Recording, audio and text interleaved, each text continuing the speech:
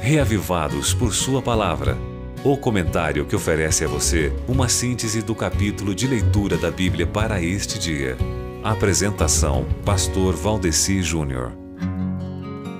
Muitas pessoas ficam se perguntando onde é que Deus está quando alguém é eleito para governar uma nação, porque se a autoridade eleita parece ser um filho de Deus, a pergunta é se a política seria algo religioso. E se o sistema vigente é supostamente pagão, pergunta-se onde está Deus na eleição.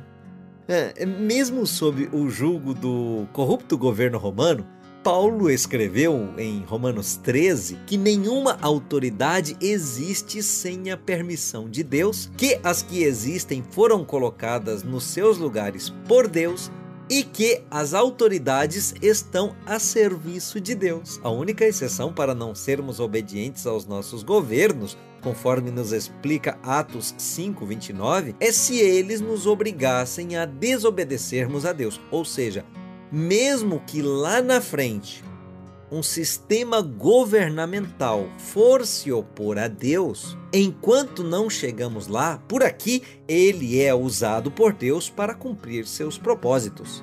Você vê isso nos pagãos Ciro e Nabucodonosor, que receberam seus chamados diretamente de Deus.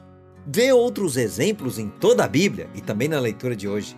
400 anos depois, o sistema egípcio seria um verdadeiro antideus. Mas, como por ora não era, o maior personagem de então do povo de Deus foi também colocado para ser o protagonista no sistema político que estava sendo usado por Deus naquele momento. Ou seja, do antigo texto bíblico de Gênesis 41, temos muito que aprender para o nosso atual contexto como uma verdadeira leitura de hoje. Então, por favor, não deixe de ler Gênesis capítulo 41. Você ouviu Reavivados por Sua Palavra, com o pastor Valdeci Júnior.